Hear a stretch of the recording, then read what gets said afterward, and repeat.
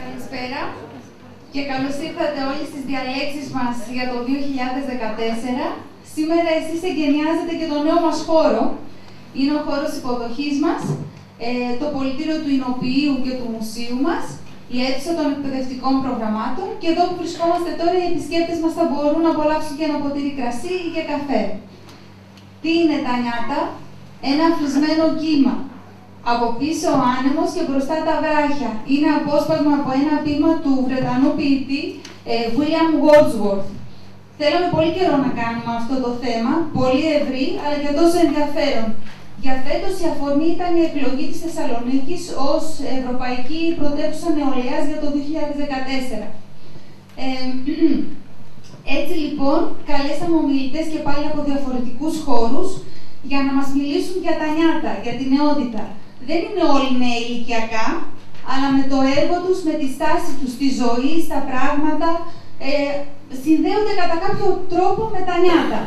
Φέτος, σήμερα όμως, συγγνώμη, ο ομιλητής μας είναι και ηλικιακά νέος, πολύ νέος, είναι μόλις 23 ετών, είναι σκηνοθέτης, με ήδη 40 ταινίες μικρού μήκους, πολλά βραβεία, κριτικές αξιοζήλευτες από τους πιο σημαντικούς σκηνοθέτες παγκοσμίως. Έχουμε τη χαρά να το γνωρίζουμε και προσωπικά, γιατί μας κάνει την τιμή και δημιουργεί τις ταινίες για το κτήμα μας. Και όταν το γνωρίσαμε πρώτη φορά, μας είπε ότι όταν δοκίμασα πρώτη φορά κρασί, ένιωσα όπως όταν έδωσα το πρώτο μου φιλί. Ε, μας κέρδισε, δεν χρειαζόταν να πει και κάτι παραπάνω. Μας κέρδισε και μας έπεισε όμως και κάθε φορά που θα συναντηθούμε, μας εντυπωσιάζει ακόμη περισσότερο και ως άνθρωπος και ως καλλιτέχνης. Τον ευχαριστούμε πάρα πολύ που δέχτηκε την πρότασή μας να είναι ο πρώτος μας ομιλητής για φέτος. Καλωσορίζουμε τον Στέφανο Σιταρά, εγώ θα σας παρακαλέσω να έχουμε κλειστά τα κινητά μας μέχρι το τέλος της διάλεξης. Ε, η βιντεοσκόπηση και η ηχογράφηση δεν επιτρέπεται, αλλά μπορείτε να βρίσκετε τις διαλέξεις μας στο κανάλι μας στο YouTube. Δομένη Τζεροβασιλείου. Καλώς ήρθατε, καλή συνέχεια.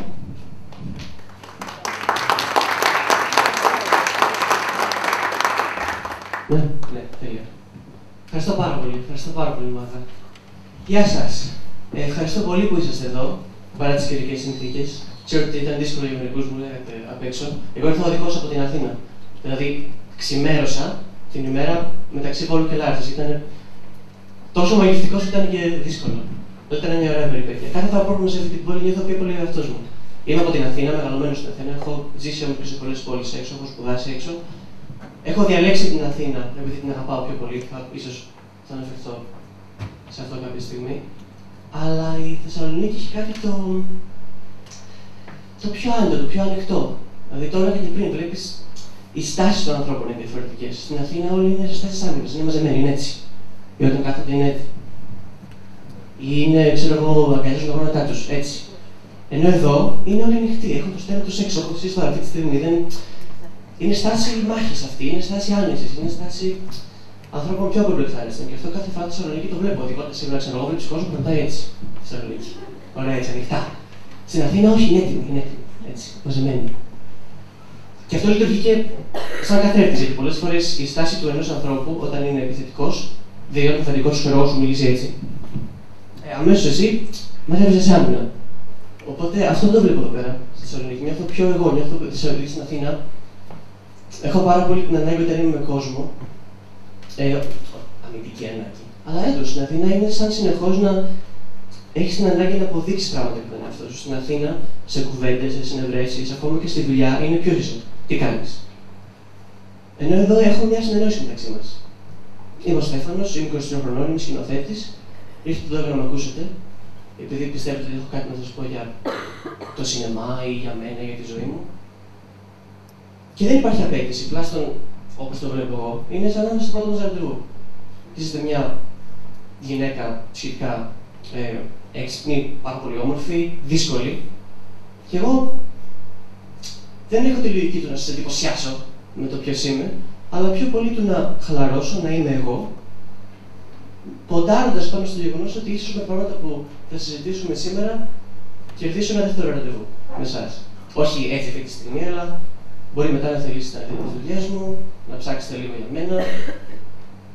Αυτό προσπαθώ να κερδίσω αυτή τη στιγμή. Μια, μια συνέχεια σε αυτή τη σχέση που πήραμε τώρα. Ε, οπότε, το, το βασικό μου άγχος για την απόψινή ομιλία είναι ότι όντας πάρα πολύ ε, μικρός για αυτό που κάνω, δεν πιστεύω ότι μου πέφτει λόγος να συζητήσω έξυπνα ή φιλοσοφημένα για οποιοδήποτε θέμα. Δηλαδή, αν ξαφνικά ερχόμουν και σας έκανα κάποιο, κάποιο κήρυγμα για Α, οι νέοι στην Ελλάδα σήμερα, γιατί; Ενώ δεν έχω ακόμα την αγκυρότητα σαν επαγγελματίας να μπορέσω να μιλήσω ειδικά για κάτι. Ούτε καν για το σινεμά. Δηλαδή, δεν είναι ότι αυτή τη στιγμή είναι ο τάδε διάσημος σκηνοθέτης. Δεν ήταν τόσο κορτσέζα, θα λέγαμε ναι, φυσικά. Το είδο σινεμά, δηλαδή, πολλές φορές μιλάω με τον ε, Δημήτρη Κοπαγιάνο, που είναι και σαν μέντοράς μου, και είναι σαν ό,τι λέει να φέρει μια αγκυρότητα μέσα του. Γιατί είναι ο Δημήτρης Κοπαγιάνο. Δηλαδή, όταν ο Δημήτρη μου λέει, ξέρω εγώ, ότι αν ναι, το mainstream του Love Characters υπάρχουν και δεν αποκλείει το ένα το άλλο, ναι, σε ακούω Δημήτρη, γιατί είσαι ο Δημήτρης. Ενώ έχω την εντύπωση ότι αυτή τη στιγμή, αν ερχόμουν και σας μίλαγα ε, προφαινόμενος μια ειδικότητα σε κάτι, ότι ναι, θα μιλήσουμε για το σινεμά απόψε. Δεν μου πέφτει λόγο, γιατί ακόμα δεν έχω πατήσει το πόδι μου σωστά και όρημα στον κόσμο, τον επαγγελματικό. Είμαι ακόμα στο σκηνημά μου, είμαι ακόμα στη φάση που πειραματίζομαι. Ε, αλλά αυτή είναι μια εξέλιξη την οποία αγαπάω. Είναι όπω μου έχει πάθει ο για το κρασί. Το οποίο δεν βγαίνει ποτέ. Δεν μπορείς να πεις ποτέ ότι φτάσαμε. Να το, αυτό είναι. Είναι κάτι που έχει μια διαρκή εξέλιξη. Οπότε θα ήθελα να ξεκινήσω λέγοντας συγγνώμη που δεν θα ακούσετε απόψε έναν άνθρωπο κατασταλαγμένος σε απόψεις. Δεν θα ακούσετε κάποιον ο οποίος θα σας πει αυτό είναι έτσι και αυτό είναι αλλιώς. Δεν πρόκειται ποτέ να μιλήσω με σταθερές ε, έννοιες στη γλώσσα μου θα σας πω πιο πολύ ποιος πιστεύω ότι είμαι, πού πιστεύω ότι βρίσκομαι και αν τύχει να μιλήσω για πράγματα όπως το σινεμά ή την Ελλάδα ή τους νέους στην Ελλάδα ή την πολιτική στην Ελλάδα ή οτιδήποτε, θα έχει να κάνει μόνο με μένα. Δηλαδή, επειδή το σινεμά το έχω μέσα μου και επειδή πιστεύω ότι είμαι σκηνοθέτης, ε, δεν θα μιλήσω για το σινεμά με κάποια διάθεση ε, διαλεκτική του στυλ ε, πιο δίθεν, αλλά θα μιλήσω για αυτά που νιώθω εγώ. Οπότε Εάν σε αυτά που θα πω σήμερα νιώσετε οποιοδήποτε στιγμή ε, ότι κάτι είναι ημιτελέ στην άποψη αυτή, συγχωρέστε με από τώρα γιατί και εγώ είμαι ημιτελή. Και εγώ ακόμα είμαι στην εκολαπτώμενη διαδικασία. Θα ήθελα να ξεκινήσω με μια εικόνα, η οποία, την οποία μάλλον άφησα να με ορίσει για πάρα πολύ καιρό. Αυτός είναι ο εγκέφαλος μου. Αυτή είναι μια φωτογραφία πάρα πολύ πρόσφατη. Φαίνεται φυσιολογικός, τουλάχιστον από πρώτη όψεω. Αλλά θα σας δείξω αυτό εδώ το σημείο εδώ. Αυτή η οπή στον κύκλο, αυτό το, το χ, συμβολίζει ε, μια κίστη. Μια κίστη διαμέτρου περίπου 4-4,5 εκατοστών, η οποία αυτή τη στιγμή, ή έκτο πάντα, ζει μέσα στον εγκέφαλό μου.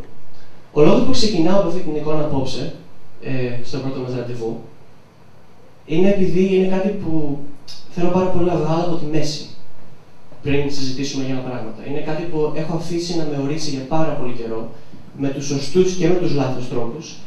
Και θα ήθελα στη διαδικασία του να σας πω ποιος είμαι, να σας πω ποια πράγματα έχω αφήσει να πιστεύω ότι είμαι αυτά τα πράγματα. Αν αυτό που λέω βγάζει κανένα νόημα. Λοιπόν, ε, η όλη περιπέτεια με αυτή την εικόνα που βλέπετε ξεκίνησε επειδή είχα μαθησιακές δυσκολίες όταν ήμουν στο σχολείο δεν μπορούσα να συγκεντρωθώ, είχα πάρα πολλά άγχη, είχα, είχα υπνίες, δηλαδή, και ακόμα έχω φυσικά, δεν μπορούσα να κοιμηθώ νωρίς το βράδυ, ε, δεν μπορούσα να ξυπνήσω καλά το πρωί και μόνο πάντα δύο-τρεις ώρες. Και αυτό οδήγησε τους γονείς μου, που είναι και οι δύο της ιατρικής, όχι γιατί εννοώ, είναι και οι δύο της ιατρικής θεώρησης των πραγμάτων, της επιστημονικής τέλος πάντων, να μου κάνουν μια σειρά από τεστς. Ε, όχι μόνο εκνογραφίε, αλλά και διάφορα IQ τεστς, τεστ για αυτό το ADD με την εμβατική προσοχή, το οποίο υποτίθεται πως έχω, δυσλεξία. Και να σας πω την αλήθεια, πριν συνειδητοποιήσω ότι αυτή η εικόνα θα όριζε το ποιος είμαι, ήθελα πάρα πάρα πολύ να έχω κάτι. Γιατί ήθελα να έχω πάντα μια δικαιολογία να μην διαβάζω για το σχολείο. Ενώ είχα αυτό το πρόβλημα με σχολείο, οπότε λέω: Θέλω να πραγματικά. Σε έχω ένα προβληματάκι, κάτι έτσι λίγο. Απλά για να μπορώ να λέω στο σχολείο ότι. Ναι, ξέρετε, εγώ έχω αυτό το πρόβλημα. Δεν μπορώ να διαβάσω χημία σήμερα, σας παρακαλώ. Οπότε αυτή εκπληρώθηκε λοιπόν αυτή η επιθυμία μου και τι συμβαίνει; Ένα κομμάτι του εγκεφάλου μου, συγκεκριμένα αυτό εδώ, το 1 τέταρτο, του, μάλλον το 1 δεύτερο του αριστερού ημισφαιρίου δεν υπάρχει. Είναι σαν να γεννήθηκα χωρίς χέρι. Πώς μερικοί άνθρωποι γεννήθηκαν ξέρω, με διάφορα προβλήματα, δεν έχουν πόδι, δεν έχουν χέρι. Εγώ γεννήθηκα χωρίς ένα κορταφικό λογό. Τον, μπροστά, τον κάτω, μπροστά, δεξιά, ε, μπροστά, αριστερά, συγγνώμη, κορταφικό λογό. Βέβαια, στη θέση αυτού, αυτής της έλλειψης, δημιουργήθηκε μια κίστη. Μια κίστη είναι σαν μια φούσκα, ένα μπαλόνι με νερό ή με κάποιο υγρό, που αναπτύχθηκε μέσα στον εγκέφαλό μου για να ισορροπήσει αυτήν την, ε, αυτή την έλλειψη. Και είναι θαυμάσιο βασικά πώς λειτουργεί η φύση, γιατί αυτό που ο πατέρα μου μπορεί να γιατρώσει ότι κανονικά δεν θα μπορούσα να είχα μεγαλώσει σωστά και ισορροπημένα με ένα κενό στο κεφάλι μου. Αλλά επειδή το σώμα μου είδε ότι υπάρχει αυτό το κενό, φούσκωσε εκεί μέσα ένα, ένα, ένα μπαλόνι. Και αυτό ε, με έκανε, δηλαδή, με, μπορώ να σας μιλάω αυτή τη στιγμή έχοντας την πλήρη οξυδέρκεια και την πλήρη δυνητική ικανότητα, επειδή ο εγκέφαλός μου ισορρόπησε με αυτό το εισαγωγικά πρόβλημα. Ε, οπότε αμέσως είχα την δικαιολογία που ήθελα για να με διαβάσει το σχόλιο. Γιατί μπροστά, αυτό, αυτό το κομμάτι το οποίο μου λείπει ε, είναι θεωρητικά αυτό που είναι υπεύθυνο για την πιο μαθηματική σκέψη, ας πούμε, για τις, ε, για τις επιστήμες. Ε, το κομμάτι του εγκεφάλου που θα ορίσει ότι ένα και ένα ίσον δύο ή ότι ένας χώρος διέπεται από κάποιες συνθήκες ε, γεωγραφικές ή τέλος πάντων ε, επιστημονικά διταγμένες στην αντίληψή μας, αυτό το κομμάτι εγώ δεν το έχω. Ε, αλλά φυσικά όταν κάποιος γίνεται χωρίς ένα χέρι, δεν είναι ότι μια ζωή δεν μπορεί να γράψει με το χέρι, έχει το άλλο χέρι και μπορεί να γράψει με αυτό το χέρι και το άλλο χέρι. Και θα ήθελα να σας πω λιγάκι, να σας εξηγήσω λίγο τον τρόπο με τον οποίο, ε, τουλάχιστον μέσα μου, από πλευράς δυνατική ικανότητας, έχω, ε, έχω, έχω αναπτυχθεί σε σχέση με αυτή την εικόνα που βλέπετε τώρα. Το αριστερό ημισφαίριο, θεωρητικά, σύμφωνα με όσα λέει ο πατέρας μου δηλαδή, ε, είναι αυτό το κομμάτι του μυαλού το οποίο είναι, όπως σας είπα, υπεύθυνο για αυτή την αντίληψη, ε, τη μαθηματική αντίληψη και ικανότητα του χώρου, του χρόνου, της κοινωνιολογία και τα σχετικά. Το δεξί κομμάτι, αυτό που έχω αυτή τη στιγμή υγιές και ολοκληρωμένο πλήρες, είναι αυτό το οποίο είναι υπεύθυνο για ε, τη δημιουργικότητα, την, τη μουσική, τη γλώσσα, το συνέστημα, το αίσθητο. Ε, είναι αυτό το κομμάτι με το οποίο γεννήθηκα full 100% αυτό το κομμάτι, δεν υπήρχε ούτε κίστη, ούτε έλλειψη, ούτε τίποτα. Ε, και γι' αυτό θέλω να πιστεύω, ή τουλάχιστον νομίζω, ότι έχω την έφεση στα καλλιτεχνικά πράγματα. Επειδή γεννήθηκα έτσι. Και πολλές φορές είναι στις συζητήσεις που πολλές φορές λέω και λέω γεννιέσαι καλλιτέχνης, ή ξέρω εγώ, γεννιέσαι το οτιδήποτε. Εγώ ίσως είμαι η εξαίρεση σε αυτό, γιατί δεν, δεν θα μπορούσα να επιλέξω να γίνω κάτι άλλο, γιατί έχω αυτή την ε, ιδιαιτερότητα. Οπότε ναι, γεννήθηκα καλλιτέχνης. Γεννήθηκα με την ποιητική δυνατότητα να μεταφράζω τις αλήθειες που νιώθω μέσα μου σε κάτι εκφραστικό, σε μια εικόνα, σε μια κίνηση, σε, σε, σε έναν ήχο, σε ένα συνέστημα. Ε, και νιώθω αυτή την, την αναπλήρωση. Δηλαδή, από ό,τι μου έχουν πει στα τεστ που έκανα τότε, δεν είχα αυτό το πρόβλημα, από ό,τι μου έχουν πει, ο τρόπος που λειτουργεί ο εγκέφαλό μου είναι ότι λόγω της κίστη στο αριστερό μου ημισφαίριο, το αριστερό μου ημισφαίριο υπολειτουργεί. Δηλαδή, υπάρχει καταρχάς η πίεση, επειδή είναι η κίστη η οποία πιέζει πολλές φορές, ε, επειδή υπάρχει αυτή η, η, η, έλλειψη στην ουσία, το αριστερό μου ημισφαίριο υπολειτουργεί. Οπότε έχω μειωμένη αντίληψη των πραγμάτων. Ε, η δραματική εκδοχή, αυτή που πολλές φορές ε, μπορεί να προσπαθώ, είναι ότι ενώ ξέρω εγώ εσείς λέτε πως ένα και ένα κάνει δύο και είναι κάτι που αντιλαμβάνεστε, εγώ δεν μπορώ. Δεν μπορώ να πω ότι μια, ένα κόκκινο σκαμπό και ένα κόκκινο σκαμπό ίσον δύο κόκκινο σκαμπό επειδή τους διέπει και τα δύο μια κοκκίνο σκαμπό Δεν, δεν, δεν μπορώ να αντιληφθώ δηλαδή ότι υπάρχει μια κοινή ιδιότητα μέσα σε όλα αυτά που είναι κάπου αλλού. Είναι μια ιδέα κόκκινο σκαμπό, το οποίο πολλαπλασιάστηκε διαιρετή σε δύο πράγματα. Το μπορώ να το απαγαλήσω, μπορώ να σας πω ότι ένα και ένα κάνει δύο, μπορώ να εξηγήσω τι σημαίνει αυτό, αλλά για μένα ένα και ένα κάνει 11. Είναι, είναι πιο λογικό, είναι πιο, είναι πιο, δηλαδή η αντίληψή μου γλιστράει πιο εύκολα σε αυτό το συμπέρασμα λόγω του πώς λειτουργεί ο κεφαλό μου. Αυτή, αυτό είναι ίσως η πιο δραματική εξήγηση του πώς λειτουργεί ο κεφαλό μου. Πιστεύω ότι με τη συνήθεια και με την εμπειρία της ζωής, εντάξει, μπορώ να αντιληφθώ μερικά πράγματα, μπορώ να καταλάβω πώς λειτουργεί, πώς θα είναι ένα δύο τέτοια κάτι σκαμπό. Δεν έχω πρόβλημα σε αυτό. Ε, αλλά εκεί που το συνειδητοποίησα το πρόβλημα, και αυτό ήταν πάρα πολύ ωραίο, πριν από περίπου ένα μήνα ήμουν στην Ομόνια στην Αθήνα και υπήρχε ένα κτίριο στην Ομόνια το οποίο είναι γκρι, με μια κόκκινη σκαλωσιά. Ωραία. Και πάνω στη χρωσιά υπήρχε, έλεγε Μέγας Αλέξανδρος. Δεν ξέρω τι είναι αυτό το κτίριο στην Αθήνα, είναι που γέννησε από στα δύο για Ομόνια.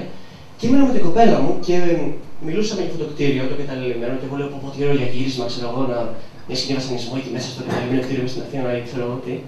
Και μου λέει, το Μέγα Αλέξανδρος. Και πραγματικά δεν μπορούσα να δω τα γράμματα. Τότε συνειδητοποίησα πολύ όρημα ότι ναι, όντως αυτή η κίστη είναι πολύ υπαρκτή. Γιατί ενώ έβλεπα το κτίριο, έβλεπα τη σκαλωσιά, δεν μπορούσα να δω τον Μέγας Αλέξανδρος. Και μου έλεγε η Ιωάννα, όχι, λέει Μέγας Αλέξανδρος, να το, το βλέπω. Και δεν μπορούσα. Δεν, δεν, δεν μου φαίνονταν, δεν μπορούσα να το δω. Το πήρα φωτογραφία το κτίριο και μετά μπορούσα να δω τη φωτογραφία του Μέγα Αλέξανδρο. Οπότε ακόμα ανακαλύπτω και εγώ λιγάκι ποιες είναι οι ιδιότητες αυτού του προβλήματος ε, και αυτή τη συνθήκη μες την οποία ζω. Ή και πολλές φορές κάτι που μπορεί να επιθέτουν ότι πολλές φορές δικαιολογώ πράγματα τα οποία δεν μπορώ να κάνω επειδή είμαι απλά εγώ, με αυτό το πρόβλημα. Δηλαδή, αχ, δεν μπορώ αυτά τα πράγματα, καταλάβω, έχω νικήσει πάντα μακριά μου. Ε, βέβαια, εκεί που νιώθω όντως μια.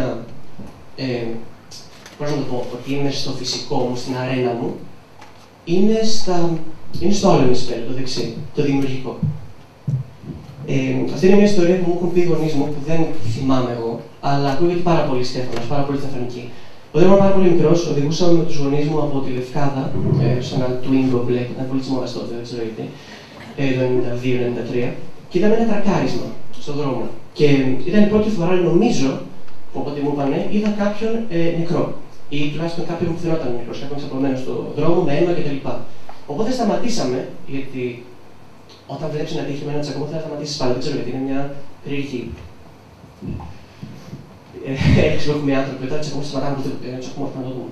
Οπότε σταματήσαμε με τους γονείς μου και βλέπαμε. Οπότε άρχισε ο πατέρα μου να κάνει κάποιο κήρυγμα του στυλ. Στέφανο, όταν μεγαλώσεις και οδηγείς, να προσέχεις, να βγάλει τι φλάσει, να κοιτάς. Και μου έχουν πει γονείς μου, δεν ισχύει αυτό, ότι αυτό που είπα ήταν. Πω πω, κοίτα τι ωραία πέφτει σκιά πάνω σε αυτόν τον άνθρωπο. Και πώς, α, έτσι. Δεν το καταλάβει κανείς τότε ότι προφανώς εγώ πηγαίνω στο καλλιτεχνικό, αλλά έχω ένα πέπλο μπροστά μου. Ισχύει ότι ε, λόγω της καλλιτεχνικότητάς μου, πιστεύω, αντιλαμβάνομαι τη ζωή απ' έξω. Ε, είναι λες και είμαι συνεχώς μέσα και έξω. Πώς όταν φτιάχνεις μια, μια ταινία, ένα σενάριο, είσαι πάντα μέσα και έξω, λες, ωραία, τι ζουν οι χαρακτήρες μου τώρα μέσα σε αυτή τη στιγμή αληθινά. Και μετά κλείνει έξω και λες, Α, θα τους πάω μετά, εκεί θα τους πάω μετά, ή είσαι στο σχεδιάγραμμα. Όταν φτιάξεις ένα κτίριο, Πολλές φορές μπαίνει μέσα και το ζεις και το φαντάζεσαι και πολλές φορές βγαίνεις έξω και βλέπεις το, το σχηματικό. Ε, πιστεύω έτσι υπάρχω σαν άνθρωπος και στην τέχνη αλλά και στη ζωή. Ότι πολλές φορές έχω ένα πέπλο καλλιτεχνικό μπροστά μου και τα πάντα γύρω μου γίνονται υλικό για τέχνη. Οτιδήποτε που ζω. Αυτή είναι μια εξήγηση του, του προβλήματος που έχω και έπρεπε να σας πω για να σπάσω λίγο τον πάγο. Γιατί είναι κάτι που αν το έλεγα πιο μετά θα θεωρούσατε ότι ήμουν ναι, είχα βγει ένα ραντεβού πριν από δύο χρόνια, όχι με την τώρα κοπέλα μου, και ε, δεν είχα μιλήσει γι' αυτό, γιατί δεν ήθελα αυτό αυτό που θα με ορίσει. Και μετά από δύο-τρεις φορές που, που τη συνάντησα, είπα: Έχω και αυτό. Και πώς δεν μου το έπεσε από την πρώτη φορά. Οπότε είναι κάτι που θέλω πάντα να βγάζω από τη μέση όταν γνωρίζω ανθρώπους. Και επειδή θεωρώ αυτό που κάνουμε τώρα γνωριμία, δεν θέλω να σκέφτεσαι ό,τι και να πω ότι είναι αυτός ο άνθρωπος σκέφτεται έτσι. Από μια βλακία, από μια βλακία. Δεν σημαίνει ότι η πετυχική στην μπορεί να θέλει. Αλλά θέλω να το βγάλω από τη μέση. Γιατί θέλω να σας εξηγήσω ότι τα πράγματα που έχω κάνει στη ζωή μου πιστεύω ότι έχουν λίγο καθοδηγηθεί από τον τρόπο με τον οποίο ε, σκέφτομαι. Και θα ήθελα πιο μετά, αν έχουμε χρόνο, ε, ή πριν μετά τις ερωτήσεις, δεν ξέρω, να δούμε και κάποιες ταινίες μου ή κάποια αποσπάσματα. Γιατί αυτό που πιστεύω ότι υπάρχει πάρα πολύ στι ταινίε μου είναι πάρα πολύ έντονο το συνέστημα. Δηλαδή, έχω πάρα πολύ την ανάγκη, όχι επειδή νιώθω την ανάγκη να σας το βγάλω σε μια ταινία, αλλά το νιώθω και εγώ. Δηλαδή, πάντα πιστεύω ότι εισχωρώ μέσα στην αλήθεια ενός πράγματος, ίσως στη δικιά μου πιο πολύ, και επειδή έχω βρει έναν μηχανισμό να προβάλλω κάτι μέσα μου πολύ καθαρά, μου αρέσει αυτό να το επικοινωνώ με τον κόσμο. Ε, ο φόβος είναι κάτι. Είναι κάτι αληθινό με το οποίο είναι ίσως το, το, κάτι που έχω όντως ζήσει σχετικά με το πρόβλημα. Γιατί μια κίστη μπορεί πάντα να σκάσει, έτσι δεν είναι. Όταν ε, μου το περιγράψαν πρώτη φορά οι γονείς μου, ο πατέρας μου, ο οποίος με το επιστημονικό μυαλό και πολύ σωστά μπορέσει να δίνει παραδείγματα, λέει ότι Στέφανε, κοίτα ότι κάνει μια μικρή παύση για να σκεφτεί τι εικόνα θα δώσει, έχεις μια χειρομοβίδα μέσα στο κεφάλι σου. Α, μάλιστα, σούπερ, η οποία, αν δεν την προσέχεις, μπορεί να σκάσει, μπορεί να πάθει στο και να πεθάνεις. Μάλιστα.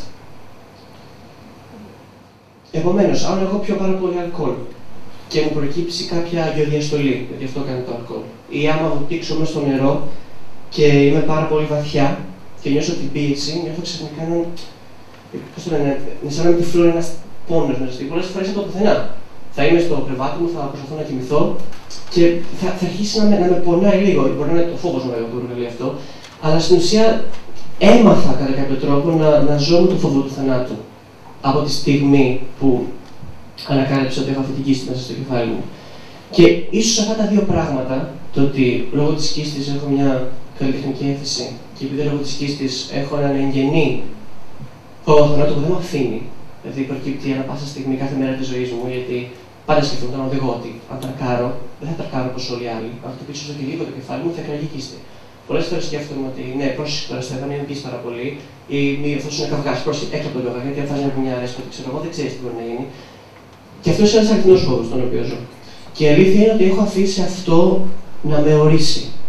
Δηλαδή, ένα από, ε, μια από τις ταυτότητες που πιστεύω έχω αναλάβει κατά καιρούς, από τους ρόλους ίσως, είναι αυτό του παιδιού. Του παιδιού με το πρόβλημα. Όταν ήμουν δηλαδή στο σχολείο, πάντα έβλεπα τον εαυτό μου έτσι. Έβλεπα ανθρώπους, έβλεπα παιδιά που είχαν πολύ δυνατότητα στα μαθηματικά ή στη φυσική ή που μπορούσαν να κάνουν πράγματα που μπορούσαν να πιούν, να βγουν, να φτιαχτούν, να κολυμπήσουν. Και εγώ έλεγα πάντα ότι Α, Στέφανος ίσον ο άνθρωπος αυτός με αυτό το πρόβλημα. Ήταν λάθος. Και αφού άρχισα να το. αφού ξεπέρασα την τροπή και ξεκίνησα να μιλάω ανοιχτά για αυτό το πρόβλημα καλή ώρα, έγινα και ετεροπροσδιοριστικά αυτός ο άνθρωπος. Ξεκίνησα να γίνομαι αυτός ο άνθρωπος με αυτό το πρόβλημα. Ε, πράγμα που δεν θέλω, γιατί δεν πιστεύω ότι βλέπω μια ταινία σκεφτόμουν ότι αυτός σκηνοθέτησε αυτό το πρόβλημα. Δηλαδή, αυτό που ήθελα να κάνω εξ αρχής, λόγω αυτού του φόβου, ήταν να, εισαγωγικά, να ζήσω τη στιγμή. Ε, ότι αφού μπορεί κάθε μέρα να πάθω κάτι, θέλω να κάνω αυτά που ήθελα να κάνω.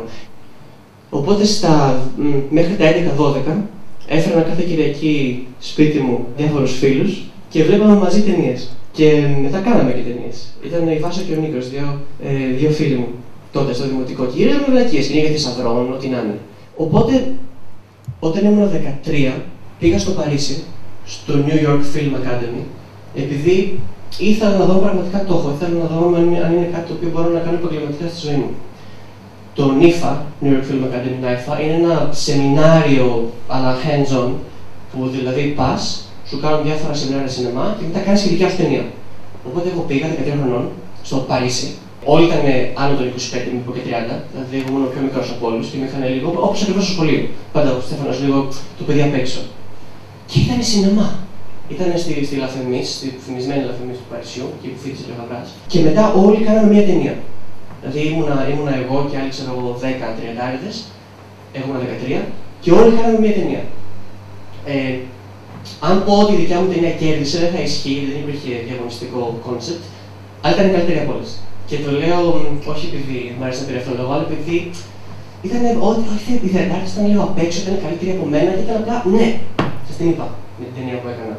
Οπότε η εμπειρία των 13 στο Παρίσι ήταν η πρώτη φορά που συνειδητοποίησα ότι θέλω να ασχοληθώ με το σινεμά. Μετά στα 14, γύρω που ήμουν στην Ελλάδα, δεν ξέρω πώς μου κόλλησε και είπα, αν σα δείτε πώς και είπα θέλω να κάνω ταινία. Θέλω να κάνω την πρώτη μου σοβαρή ταινία. Οπότε διάβασα ένα βιβλίο του Ηλία Βενέζη που λέγεται Αιωλική Γη, με θέμα τους διωγμού από την Μικρασία το 1914 και γύρισα την πρώτη μου ταινία. Πώς έγινε αυτό, έγραψα ένα σενάριο και μετά επειδή ήμουν αυτός ο νέος σκηνοθέτης, το... να νομίζω ότι το παιδί θαύμα έγινε η δεύτερη μου ταυτότητα. Αυτό που ξεκίνησε να γνωρίζει ο κόσμος από 14 μέχρι 17. Τώρα είμαι παιδί τραύμα. Αλλά ήταν, ήταν, ήταν ένα χαρτί που παίξαμε, που είχε πατέρας μου σε διάφορους φίλους, σε διάφορα συστήματα και είπε: Έχω ένα γιο 14 χρονών, θέλει λεφτά και θέλει να γυρίσει την πρώτη του μεγάλη ταινία. Και όλοι που χρησιμοποιούν κάποιος παίζανε με τα μούτρα. Του νέος σκηνοθέτης στην Ελλάδα, το μέλλον κτλ. Οπότε βρέθηκα 14 χρονών παιδί σε ένα γύρισμα με κοστούμια εποχής, με επαγγελματίες ηθοποιούς, με επαγγελματίες κάμερα με φώτα με τα πάντα, με ένα budget που από τότε δεν έχω δει μέχρι τώρα, ίσως τελευταία μου ταινία, γιατί κόστησε λίγο πιο πολύ ε, από αυτό, αλλά ήταν γυρισμένη και με φιλμ και ήταν κάτι πολύ πρωτόγνωρο για μένα.